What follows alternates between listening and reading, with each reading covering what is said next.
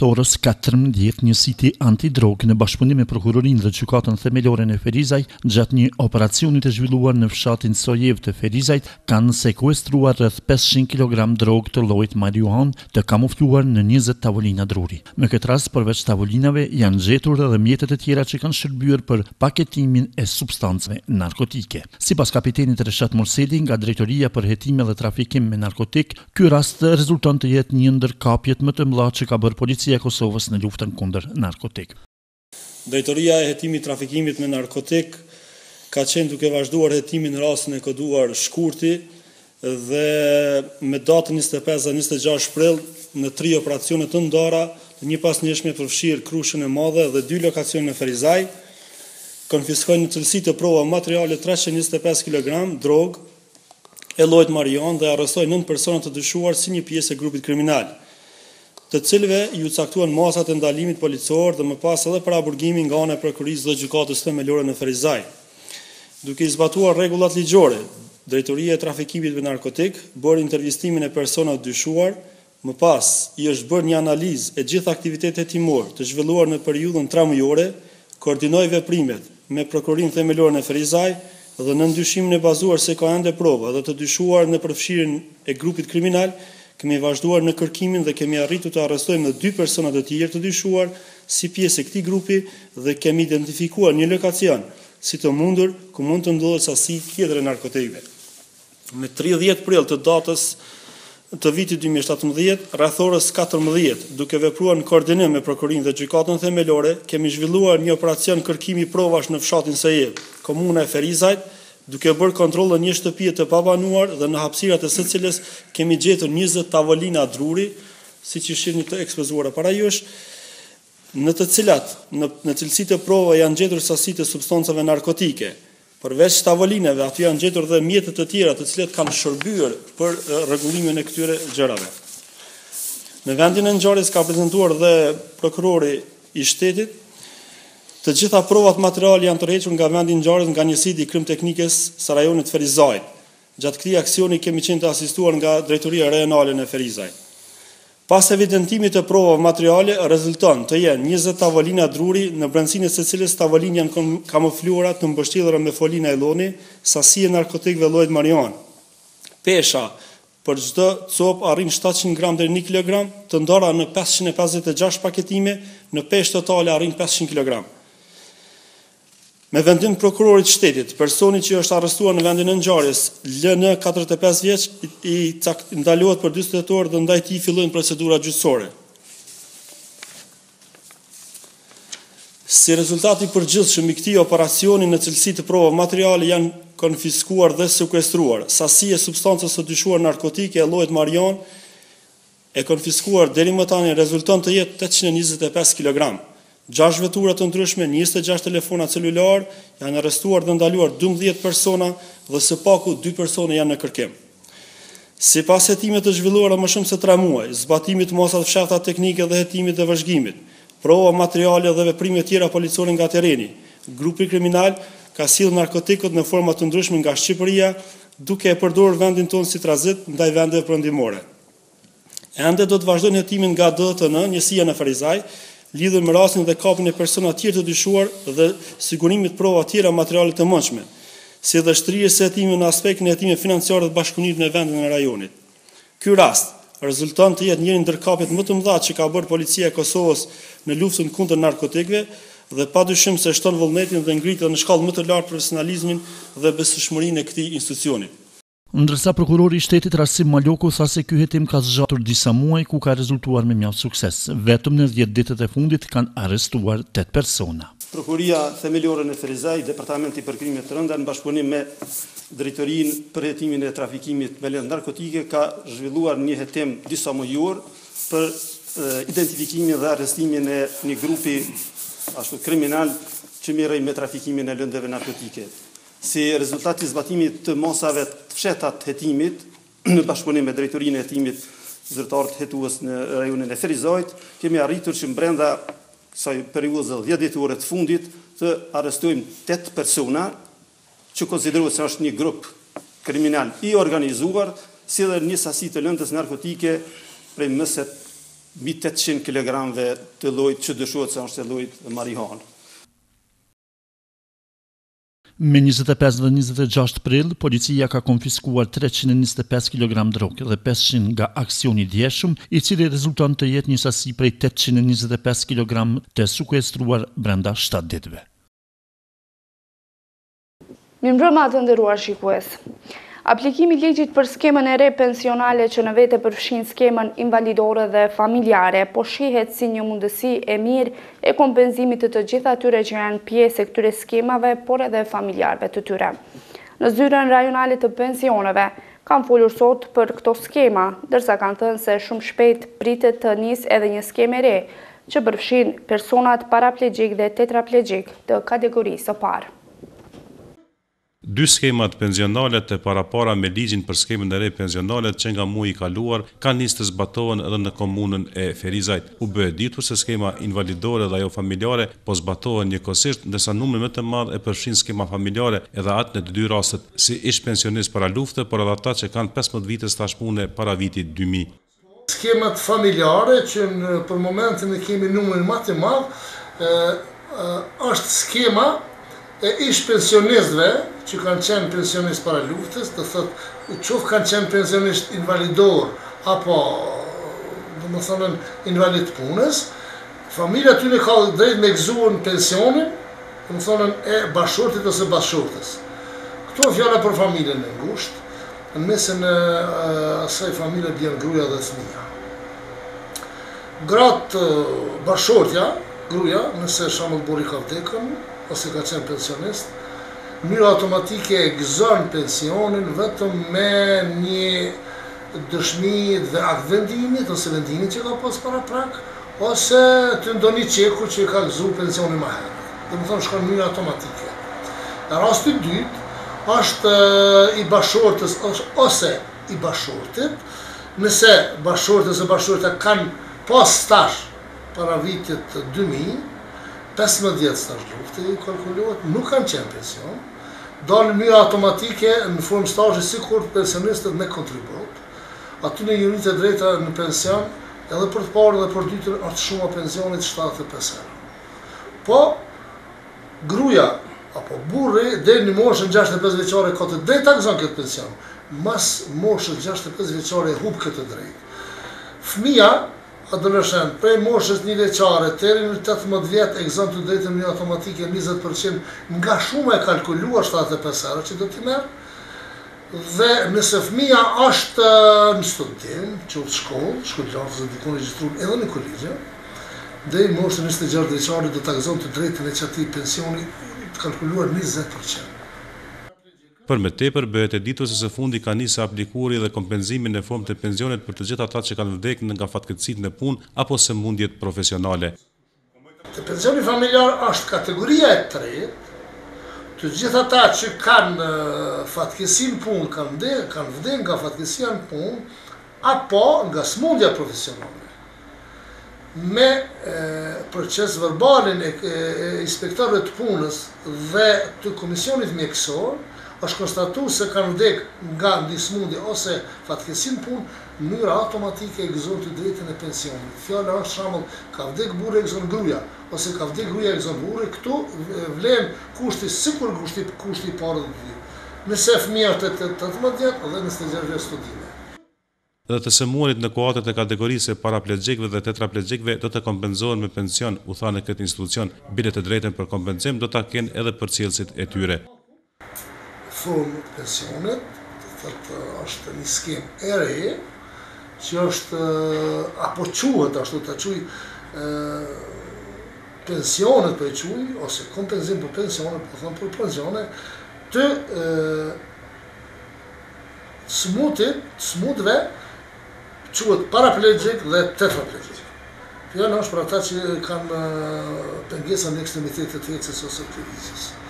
Ajo skemë ka filluar nga e hënja, kështu ka qenë edhe vendimi i kryeministrit Isa Mustafa. Përgatitja është fillu të bëhet, megjithëse kemi ngecje vetëm te komisionet mjekësore, që do ish komisionet të koordinohen nëpër regjione tjetër ka një komision për me ba kontrollën e parë. Do të thotë, lypet një mendim konziliar i tre mjekëve për me apliku te ne. Nëse komisioni që po them ende nuk është formu, në mungesë ministri, ministri, ministria e Shëndetësisë e ka ba, kërkohet mendim i i neurologut, i urologut dhe fiziatrit. Domethënë nga tre mjek mund mund ta bëjmë mendimin dhe mund mund me me, me apliku te na. Këtyne ju njihet e drejta edhe me përcjellës, nëse do të regjistrohet si kategori e parë, do ta kenë përcjellësin, po në kategori tjera jo. Aplikimi i skemës së re po mundohet të rregullojë aspektet që lidhen me kompenzimin material të të gjithë atyre që kanë nevojë për këtë kompenzim. Me një mesazh telefonik, qytetarët po vazhdojnë të derdhin një euro në xhirollogari të komunës së Ferizajt, që me këto mjete të grumbulluara të ndërtohen shtëpi për familjet skamnore. Drejtues të mirëqenies sociale thonë se mesazhet do të mund të dërgohen në numrin pesë pesë një zero pesë deri në mesin e muajit maj, por po shqyrtojnë mundësitë e shtyerjes së afatit. Për përmirësim të gjendjes sociale të qytetarëve, Komuna po planifikon të mbajë së shpejti edhe një gala mbrëmje humanitare. Qytetarët e Ferizajt po vazhdojnë të dërgojnë mesazhe në numrin pesë, pesë, një, zero, pesë. Me një klikim, ata po derdhin një euro në xhirollogari të Komunës së Ferizajt, që me këto mjete të grumbulluara të ndërtohen shtëpi për familjet skamnore. Drejtori i Shëndetësisë dhe Mirëqenies Sociale, Burim Karameta, thotë se përveç me Telekomin e Kosovës, po shqyrtojnë mundësinë që dërgimi i këtyre mesazheve të bëhet edhe përmes operatorit IPKO. Duke pasur parasysh numrin e madh të kërkesave të qytetarëve tanë për përfitimin e këtyre shtëpive dhe kapacitetet buxhetore jo të mjaftueshme të Komunës së Ferizajt, ne kemi marrë ne kemi marrë një sërë aktivitetesh për të rritur këtë fond, të cilat ekskluzivisht do të determinoheshin në ndërtim të shtëpive. Ne kemi bërë një projekt me Telekomin e Kosovës, ku kemi një numër aktiv i cili do të jetë në vullnet të qytetarëve që të dërgojnë mesazh dhe për secilin mesazh të ipet kontributi prej një eurosh. Deri më tani kemi kemi bërë këtë këtë numër i cili ka qenë nëpërmjet faqeve zyrtare, nëpërmjet faqeve sociale dhe mediave ka qenë publik. Këtë numër ne do ta rrisim kapacitetin e saj ku me mesazha që do të vijnë te rreth njëzet mijë qytetarë tanë, do të vjen në telefonat e tyre ku do të kërkohet që të bëjnë një ndërhyrje, një reply si të them, një mesazh rikthyes për të marrur këtë shumë e cila do të jetë shumë fisnike në shërbim të këtyre familjeve. Deri më tani ky numër ka qenë funksional vetëm nëpërmjet numrave të Valës ku do të mund të kontribuohej, por tani ne Po presim përgjegjen pozitive edhe nga telefonia IPKO, ku me zotërin Petrit Lekaj këtu, i cili ka qenë mjaft përkrahës i jonë deri më tani dhe shpresoj që do të jetë edhe më tutje, është duke bërë të pamundur që të kemi edhe një numër tjetër bëmirës, një numër humanitar ku do të mund të kontribuojmë nëpërmjet nëpërmjet numrave të IPKO-s. Drejtori Karameta bëri me dije se ka marrë konfirmim edhe nga Ministria e Punës dhe Mirëqenies Sociale që kjo e fundit të ndajë njëzet mijë euro për përmirësimin e kushteve jetësore të qytetarëve të Ferizajt. Gjithashtu, unë sapo përfundova një draft marrëveshje ku dje kam pasë takim me zëvendësministrin në Ministrinë e Punës dhe Mirëqenies Sociale ku do të jemi edhe përfitues të njëzet mijë eurove nga Ministria e Punës dhe Mirëqenies Sociale, këto i kemi premtimet, tani marrëveshjen vetëm e kemi të gatshme dhe gjatë javës tjetër shpresoj që do ta nënshkruajmë. Gjithashtu, siç tha drejtori Karameta, së shpejti do të mbahet edhe një gala mbrëmje humanitare në Ferizaj, e cila do t'i kontribuojë ndërtimit të shtëpive për nevojtarët. Dhe krejt në pjesën e dytë të këtij muaji ne do të jemi edhe organizator i një mbrëmje, siç e kemi bërë para dy viteve, mbrëmje me karakter humanitar, ashtuquajtur Gala Mbrëmje, ku do t'i ftojmë të gjithë zemërbardhët e qytetit të Ferizajt, të gjithë afaristët e komunës së Ferizajt, të cilët Sipas indikacioneve të para që kemi, janë janë shumë të gatshëm që të kontribuojnë akoma më shumë se sa në gala mbrëmjen e herës së kaluar ku kemi organizuar. Dhe krejt në fund, unë gjithmonë jam i prirur të mendoj të mendoj mirë të jem optimist dhe mendoj që kësa këtë vit do të kemi edhe një numër të konsiderueshëm të shtëpive që do të ndërtojmë, do të thotë të bëjmë një zgjedhje shumë kapitale që është për familjet tona tona në nevojë. E ndryshe për të tubuar të holla për bërjen me kulm mbi kokë të familjeve skamnore, Qytetarët e Ferizajt do të mund të dërgojnë mesazhe në numrin pesë pesë një zero pesë deri në mesin e muajit maj. Por drejtues të Drejtorisë së Mirëqenies Sociale po përpiqen në shtyrje të këtij afati. Vazhdojmë me informacione të tjera. Organizata Iniciativa për Progres në kuadër të programit për qeverisje të mirë ka filluar fushatën vetëdijësuese buxhetimi me pjesëmarrje dy mijë e tetëmbëdhjetë. U theksua se kjo fushatë ka për qëllim informimin dhe inkurajimin e qytetarëve për të qenë pjesëmarrës në procesin e hartimit të buxhetit të komunës. Organizata joqeveritare Iniciativa për Progres në kuadër të programit për qeverisje të mirë ka filluar fushatën vetëdijësuese Buxhetimi me pjesëmarrje dy mijë e tetëmbëdhjetë. U theksua se kjo fushatë ka për qëllim informimin dhe inkurajimin e qytetarëve për të qenë pjesëmarrës në procesin e hartimit të buxhetit komunal. Përfaqësues të INPO-s thanë se fushata do të realizohet nëpërmjet shpërndarjes së broshurave. Ideja mbi këtë fushatë është që të mundohemi të diskutojmë me qytetarët t'u tregojmë mundësitë se si ata mund të shpalosen përpara organeve komunale e kërkesat e tyre për çfarë mund të futen në buxhetin për vitin dy mijë e tetëmbëdhjetë, si për shembull kërkesat për lagjet e tyre ose diçka për të cilat ata ballafaqohen me një problem që komuna duhet ta marrë parasysh dhe të mundohet që në buxhetin e vitit të ardhshëm ta parashtrojë atë dhe të mundohet ta realizojë.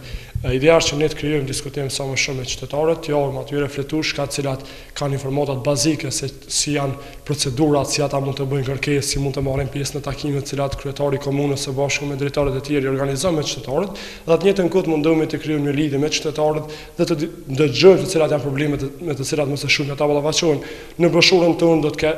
ka informata mbi çfarë ata mund të kërkojnë, si janë procedurat ligjore, mbi çfarë bazohet kjo kërkesë e tyre, edhe një formë se si mund të shkruhet një kërkesë Template i thjeshtë për t'ia dërguar kryetarit të komunës ose një drejtorie të caktuar në komunën tonë për t'u drejtuar atyve që ta fusin kërkesën e tyre në buxhetin e vitit të ardhshëm. Shpend Mustafa nga INPO tha se po mundohen që përmes këtyre broshurave t'i njoftojnë qytetarët për mundësitë që ata i kanë, duke paraqitur propozimet e tyre për përfshirje në buxhet. E, interesimi i qytetarëve që me i plotësu kërkesat komuna është shumë i madhë, por problemi është që nganjëherë shohim te qytetarët ndoshta një ftohje e vogël ndaj institucioneve lokale, ose edhe atyre qendrore. Dhe kjo neve na ban që ne më shumë të diskutojmë me qytetarët, ju tregojmë që fuqia vendimmarrëse qëndron tek ju. Ju jeni ata vendimmarrës të cilët i zgjedhni edhe zyrtarët dhe ata janë aty që të mundohen të punojnë për ju. Dhe për këtë arsye ne më së shumti mundohemi të punojmë me qytetarët, të diskutojmë me ta, t'jua japim fletushkat tona, t'ju tregojmë mundësitë të cilat ata i kanë, që ata të shkojnë të bëjnë kërkesat e tyre dhe qytetarët të rrisin kërkesën për llogaridhënie nga komuna, të bëjnë institucionet tona sa më llogaridhënëse, transparente dhe të mundohen të jenë sa më afër qytetarit edhe gjithashtu institucionet. Fushata Buxhetimi me pjesëmarrje dy mijë e shtatëmbëdhjetë u tha se do të zgjasë afërsisht një muaj. Por anëtarë të INPO-s shtuan se edhe pas përfundimit të fushatës, materialet e saj të interesuarit do të mund t'i gjejnë edhe online. Ne do mundohemi që materialet e fushatës gjithashtu t'i lëmë për një kohë të gjatë online, që edhe personat e tjerë edhe pasi ne ta përfundojmë fushatën aktive duke dalë të takohemi me qytetarë, materialet të jenë të gatshme në ueb faqen tonë ose gjithashtu në faqen tonë në Facebook ose në Twitter, të mundohen qytetarët të marrin informata dhe gjatë tërë kohës të jenë sa më afër komunës dhe të kërkojnë llogari nga ata. Ideja është, për arsye që e kemi zgjedhur këtë kohë, është që të mundohemi tani të diskutojmë me qytetarët dhe t'ju tregojmë mundësitë e tyre, për arsye që tani fillon të bëhet planifikimi për buxhetin e ardhshëm, gjatë muajve të verës do të bëhen gjithashtu takime me qytetarët e komunës sonë, të cilat duhet t'i organizojë kryetari i komunës së bashku me drejtorat komunal dhe drejtorive të ndryshëm dhe ideja është që ata t'i bëjmë sa më shpejt edhe të fillojnë të shkruajnë kërkesat e tyre dhe të parashtrojnë kërkesat e tyre drejt institucioneve lokale. U bë e ditur se ky grant është financuar nga projekti Promovimi i Shoqërisë Demokratike, financuar nga Zyra Zvicrane për Bashkëpunim në Kosovë dhe Ministria e Punëve të Jashtme e Danimarkës, kurse menaxhohet nga Fondacioni Kosovar për Shoqëri Civile. Të nderuar shikues, faleminderit për vëmendjen tuaj, bashkë mirupafshim!